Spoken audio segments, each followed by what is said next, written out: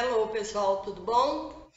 A nossa aula de educação física hoje com nossos pequenos, a gente vai trabalhar um pouquinho de ciências, nosso, nossos astros aí, o Sol e a Lua, onde eles são muito importantes, né, para o nosso organismo, o Sol principalmente, com a sua vitamina D aí para proteger nossos ossos e aumentar nosso sistema imunológico noite, né? Que a, a lua à noite que a gente vai tem que dormir para repor as nossas energias, principalmente essas crianças, né? Que têm uma energia assim espetacular, graças a Deus.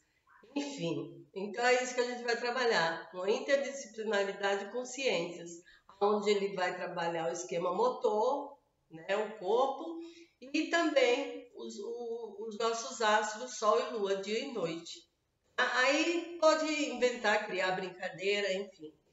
Aí eu vou, usei aqui, ó, é, a fita isolante amarela para fazer o nosso sol e a fita isolante azul para fazer lá a nossa lua. Não quer dizer que vocês tenham que fazer com isso, é claro. Vocês podem desenhar no chão ou até mesmo fazendo um papel e colar no chão e fazer o percurso, tá? Eu preferi assim porque aí eu vou utilizando direto, tá bom? É, aí eu fiz o percurso com a preta e para trabalhar esse nosso esquema motor. Então vamos lá para nossa aula propriamente dita, onde a gente vai começar com alongamento, tá? Vamos alongar um pouquinho. Braço lá em cima. Ó, aí faz referência ao sol. Oi, sol! Olha lá o sol. Oi, sol! sempre que puder, a gente sai quando ele se expor, é, estiver aparecendo, sai para tomar um pouquinho de vitamina D, enfim.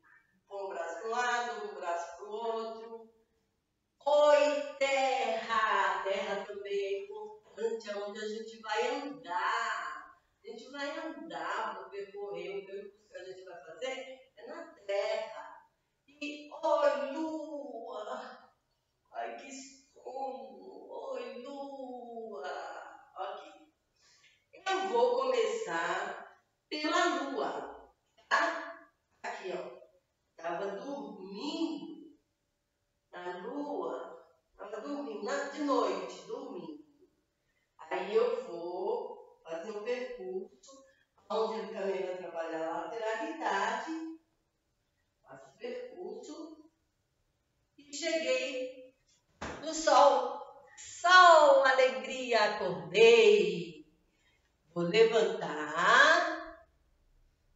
Acordei. Aí vou percorrer de novo para ir até a lua. Lembrando da nossa marcha, que é pé direito, pé esquerdo. Pé direito, pé esquerdo. E você pode brincar dessa forma também. Lua. Aí, é para ele na lua, né? Vai, filho, no sol. Sol. Ok? Essa é a nossa aula de hoje. Eu espero que vocês tenham gostado e que tenham aí uma boa semana, se Deus quiser. Até a nossa próxima aula.